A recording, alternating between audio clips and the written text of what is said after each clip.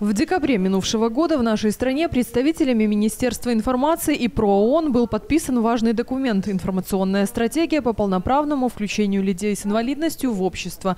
Она включает 11 стандартов законодательного характера, которых необходимо придерживаться тем, кто пишет и говорит о людях, имеющих серьезные проблемы со здоровьем. Хотя каждый из нас знает, как говорить об этой проблеме, но нет общего понимания – и общего такого консенсуса, который бы приводил нас всех, когда говорю нас, это и государственные органы власти, и местные органы власти, это общественное объединение люди с инвалидностью, это международные организации.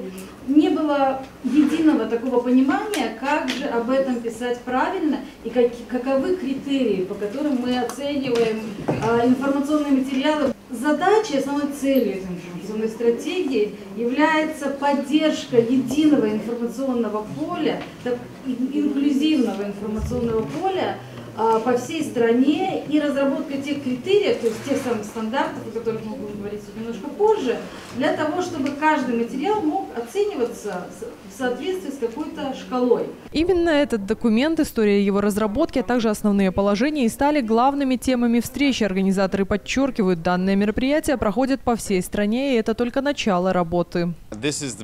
Это первая серия мероприятий. Они носят ознакомительный характер. Мы в партнерстве с Министерством информации и местным местными органами власти проводим их по всей стране. Через несколько месяцев планируем приступить к следующему этапу. К слову, представители программы развития ООН отмечают, в Беларуси в целом информационная работа ведется на высоком уровне. Информационный компонент по всем направлениям развивается хорошо. Однако в любом деле есть моменты, которые могут быть улучшены.